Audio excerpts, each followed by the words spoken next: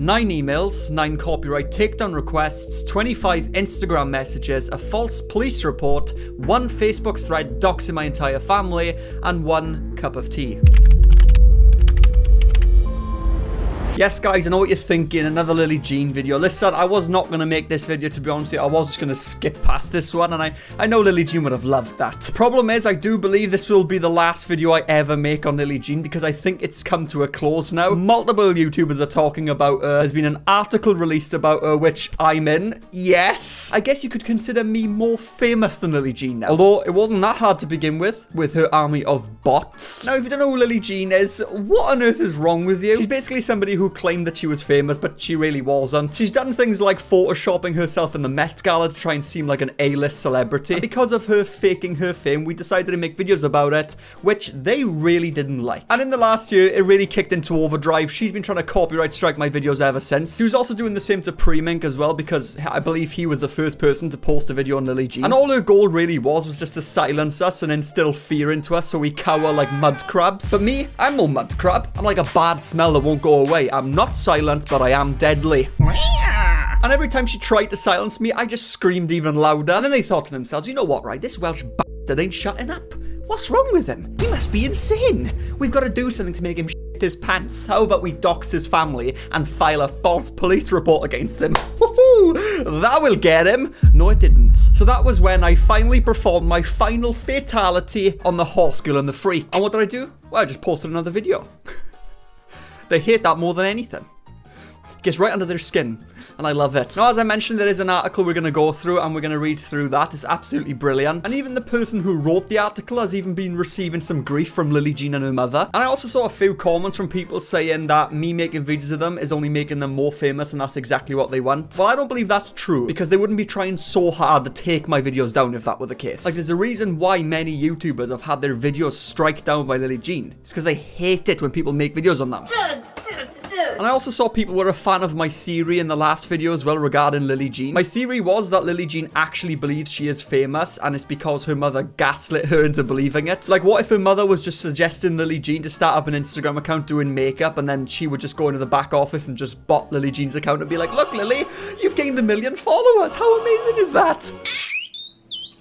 Premint even said in his last video that the articles that are being posted is created by people on Fiverr, a freelancer website. So her mother may just be going on Fiverr and just asking people to make articles about her daughter and then showing Lillee as if they're actually real. And she was apparently on the cover of Teen Vogue as well, but obviously that was bullshit because Teen Vogue had actually stopped printing magazines at that time. So obviously it was Photoshop and it was fake. But what if her mother had Photoshopped it and then showed Lillee being like, look, I can't believe it. You made it on the cover of Vogue. you know what I mean? But people did have some good arguments to my theory regarding the Met Gala scandal. This could have been a once in a blue moon thing, where she approached Lillee and was like, look, let's actually Photoshop you in the Met Gala. It's a bit risky, but I think it'll gain more traction to your account. Like, it is a possibility that that is just a one-off thing. And the reason I've come to this theory is because everything I've received, the false police reports, the doxing, the copyright strikes, everything I've received is purely from Laura Trueman. Everything is from Lillee Jean's mother. It seems like Lillee Jean's mother is the mastermind in all this. But like I said, it's just a theory, you know? It's like the Truman Show, which actually works pretty well because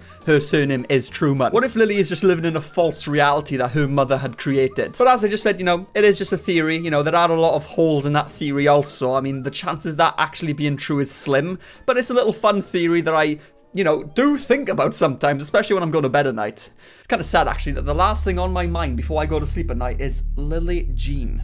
Now I'm disappointed. But anyway, Lillee Jean now has moved away from her makeup account and now she's pursuing acting to try and be an actress. Uh, she's apparently won awards, but I reckon it's full of shit, to be honest, just as usual. I'm sorry to say this, but in my personal opinion, there's no way that she's won awards for, for, for that. God, even Jerry could act better than that, couldn't you, Jer? Ooh. That's brilliant, Jet. What he's doing right now is the intimidating stare. I love it when he does this. but like I said, I'm not going to cover all the past events with Lillee Jean. If you do want to see the whole backstory, I'll leave two links at the end of this video that you can go and check them out. Whoa. Okay, so really strange. Um, this is just, that just happened. I was about to read the article and I can't find it on Google. The person who wrote this article has just said on Twitter the following. In a turn of events that isn't the least bit surprising, but still shocking, our Lillee Jean story has been removed from Google search because of a DMCA copyright strike. So if you could share this article and give it some love, that would really help. So the very kind gentleman who Preming put me in contact with and also wrote this article, his name is Steven Asarch. I hope I said your name right. Hang on. Asarch, yeah. Asarch? I think that's right. Asarch? Yeah, I think that's right. Um, I'll call you Steven the Ultimate Man. I don't know. I don't know.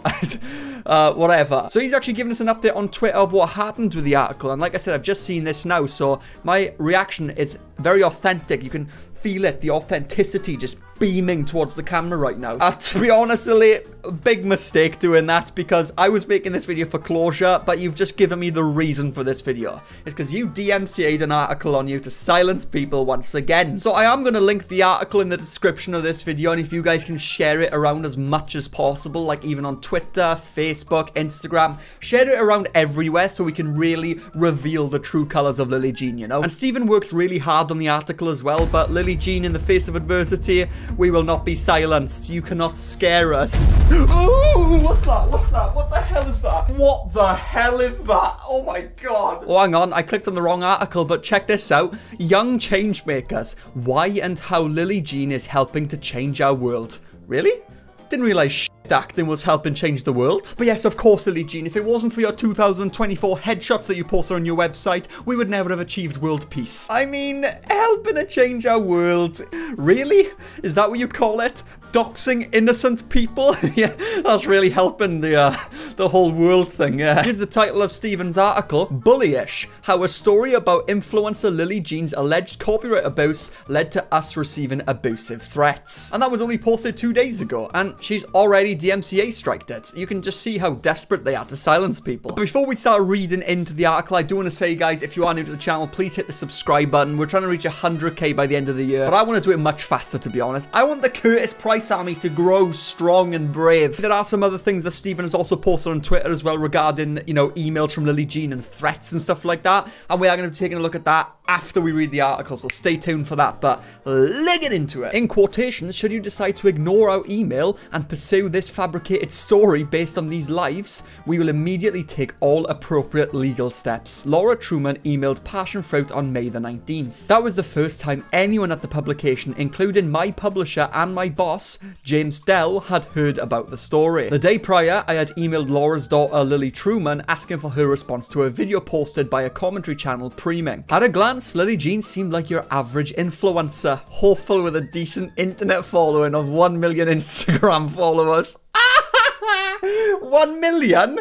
Come on now. One million bots, man. We know this. Obviously, though, you know, it's not confirmed that they are bots. It's just like a few years ago when we were taking a look at the analytics, a few things didn't line up with their Instagram followers. But who knows? Maybe some of them are real. You know, family members and stuff like that. She posts acting reels and sketches about things like sentient shoes. What the f is a sentient shoe?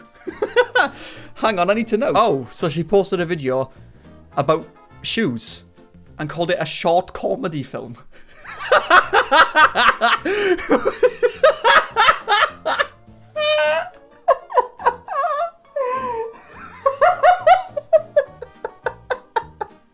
Are you for real?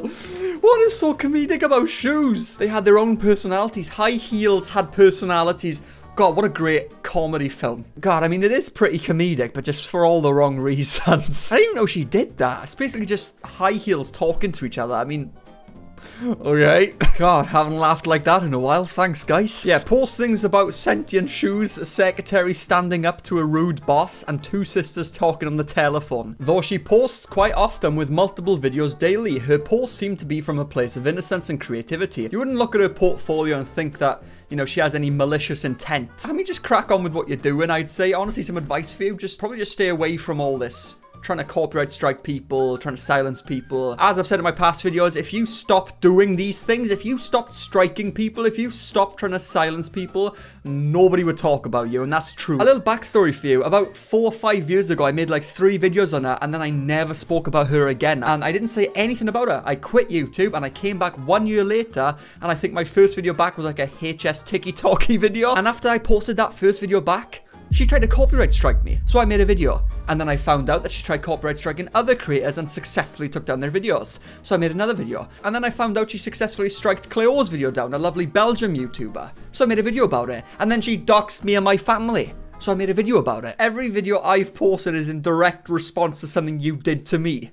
Uh, so it caught my attention when to his million subscribers, YouTuber Preming claimed that after creating a video on the creator four years ago, Lillee and her mother have been spamming his channel with copyright notices that got more unhinged over time. In the emails posted in the video, Lillee and her mother accused Preming of slander and defamation. The pair also made unsubstantiated claims that he fosters sexual discussion with minors. They use his real name and address, which he has not shared publicly. So yeah, about that, it's pretty much exactly what happened to me as well. They were literally sending me endless copyright strike request takedowns. They said that I apparently play with children on Twitch as well as talk to them over Discord, which is very strange because I even said in my last video I've never once streamed on Twitch. I don't think I've ever streamed in my entire life, only on YouTube. And also in Discord, I rarely use that. I think the only reason I use it is for Midjourney, which is like an AI generating program. Like at least make up different lies for the both of us. Why you've got to go ahead and copy and paste the same lie? Like just make up different ones. At least that would be more believable. And also the whole thing about slander and defamation. Again, I've already been through this in my past videos. I'm not sure how I've slandered or defamed you in any way whatsoever. And anyway, you just slandered me by saying I play with children on Twitch and I talk to them over Discord. When have I ever done that? Over the next week following his latest Lillee Jean video, Preming noticed someone edited his Wikitubia page to include his name and home address, though it has since been changed back. He also noticed Lillee Jean posted three now deleted videos about bullying. Two of those videos included his full name and one had his hometown and state, which he believes came from the information Lillee Jean acquired when Preming visited her website. I mean, to even do that in the first place, you've got to be a different kind of breed. I mean, are you really going to accuse people of like stalking you and bullying you when you're literally giving out people's personal information to the public eye? It's very obvious that Lillee Jean and her mother just constantly live in a victimized mindset 24-7. Like, I can't believe I'm even giving advice to Lillee Jean's mother who's older than me and realistically should be more wiser, but if you go through your life seeing yourself as the victim, you're not going to get very far. During that time, Laura kept emailing us. When we asked Laura for evidence on any of her claims against Preming or how she obtained his real name, she refused to respond. Yeah, of course they did, because they're full of shit. That's why. Instead, she sent us vague legal threats throwing around words like copyright infringement, defamation, and slander. Ah, the three musketeers, their three favourite words. I'm sure when Lillee Jean first came out of the womb, her first words were copyright infringement. Yeah, copyright. Yeah, takedown. Copyright takedown, Curtis Price's video. that was her first words, 100%. Then Steven went on to include an email from Laura that he had received. I'm not going to read the whole thing because I think it takes away from the article. So if you guys want to go and check it out, like I said, the link will be in the description. But let's move on to the part where they talk about me. Creators run scared. Um, yes. Yes, that is true. I have been very emotionally scarred and terrified at night because of Lillee Jean. Preming is far from the only creator to receive copyright notices from Lillee Jean, while other creators like Curtis Price eh, Tatiana, Sunny V2, and Angelica Oles have all posted videos on Lillee Jean. Preming's was the largest with 10 million views. First on my list to speak with was Cleo, a 14,000 subscriber YouTube channel that translates drama about American creators for a French audience. She told me she discovered Lillee Jean's story from commentary channels like Preming. 12 hours after posting her first video on Lillee Jean, Lillee filed a copyright notice for using a portion of footage from her video Project Bullyish. This resulted in YouTube taking down Cleo's video. Cleo issued an appeal which granted Lillee her full name and address. Well, good news for everybody, that Cleo's video is now fully reinstated, so Lillee Jean didn't succeed at removing the video forever. It's now back up. If you want to go and check it out, I'll leave that in the description as well. Why not? The title of the next portion is A Giraffe Named Jerry. Jerry, you're famous! yes! Jerry's made it, everybody. Jerry is officially more famous than Lillee Jean. Jerry, you made it! Look how happy he is. Yeah, Jerry. Yeah. On May 5th, 80,000 subscriber YouTuber Curtis Price covered the claim against Cleo on his channel. 80,000 subscribers? That's right, thank you very much. After she sent him an email asking for advice. I'd been introduced to the upbeat Welsh creator known for his wooden giraffe sidekick. I wouldn't really call him a sidekick. I mean, he kind of runs the uh, the scene around here. I just listen to Jerry. He tells me what to do. So if anything ever happens in the future with some drama, it's Jerry's fault. Later in the week, Laura, in now deleted post on her own Facebook, shared the personal Facebook accounts of Price's entire family. This included where some of them work, which he spoke about in his video. Yeah, I'm not really sure why they did that, to be honest. I don't know what the point was dragging my family into it for. Like, was that supposed to intimidate me? My family are all on board with my channel, thank you very much, so... Unlucky! In the copyright notification sent to Cleo from Lillee Jean, which Cleo forwarded to me, Lillee makes unsupported claims that Cleo frequents a neo-Nazi website and engages in terrorist terrorist tactics. Lillee adds that she is going to assume Price is Cleo's legal representation at this point forward. Yeah, that did happen. Apparently I was Cleo's, uh, you know, lawyer or something, which... Thank you very much.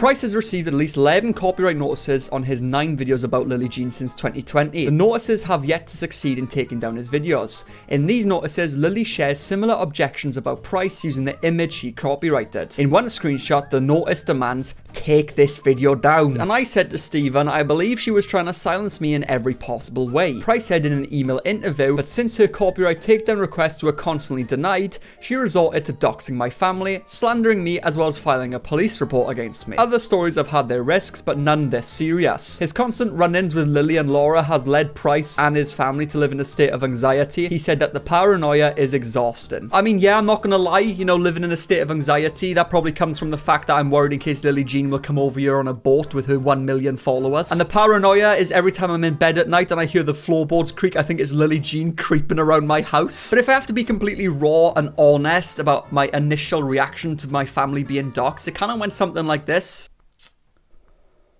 Oh my god, are you shitting me? Oh my, yo, Lillee Jean just doxed me and my family. Oh my god. I can make another video. I can, I can, oh, but they just doxed me. I can't believe, I can make fun of them again. I can call her the horse girl one more time. And, but, ah, but they, they listen when my family works and that's gonna put them even more in even more deep shit. I can win. Oh my god, I've won. I've actually won! I'm not gonna lie, that is actually how it went. I went from a stage of panic to happiness, back to panic, and then to a state of euphoria. that was in the space of like 30 seconds as well. But if you do want to read the rest of the article, it will be the top line of the description. Steven worked really hard on it, so share it around as much as possible, because his hard work deserves to be recognized. For the aftermath of the article being released, like Lillee Jean has rebranded her channel completely. I don't know whether she thinks that if she does a rebrand, no one will recognize her anymore as the person who faked her life, but we know. We know. But as Steven released this article, he posted a couple of threads on Twitter, which I thought was very interesting. For years, Lillee Jean and her mother Laura have sent threats, insults, and even doxed creators speaking out about them. Some fled the platform, others live in a state of anxiety. While reporting on their stories, they try to do the same to me. Ah, oh, that's uh, that's pretty on brand for the Horse Girl and the Wicked Witch of the West. I feel like they live like the monsters from Monsters Inc., where they've got like a scare tank and it fills up to the max when they've had enough fear out of people. After asking Lillee and Laura to answer our questions, they claimed I am a former judge's child who has has access to personal records, and that this is a paid hit article. We both have been in the business long enough to smell a setup. Been in the business long enough, what, of writing articles? Yeah, I'm sure you have been in the business, Laura, considering you hired people from Fiverr to write articles about your daughter. Normally, I'd create a thread full of images from this piece, but considering the pair have already threatened to sue us for slander, defamation, and a bunch of other words they don't understand, if we use any of their images, it's best just to read it here. I mean, yeah, they, they do tend to use a lot of words they don't understand. For example, stalking. I mean, it's a pretty self-explanatory word, but to accuse me of stalking, when you literally hunted down my family and released private information about them, I would say that that is stalking, not me posting videos on a public platform. And another word they don't understand is slander. What, me reporting on you faking your life, which is public knowledge, is slander? But you saying that I play with children on Discord as well as on Twitch isn't. Not really sure where your brains are at. I'm so happy that Jerry made it onto an article. I mean, that is just well done, Jerry, again. You are way more famous than me now. I mean, the title to my piece wasn't even my name. It was Jerry's name. Also, check out my other two Lillee Jean videos. This one is just like a bit of a backstory of what's been happening about, you know, over the last few years. And this one is about her doxing me.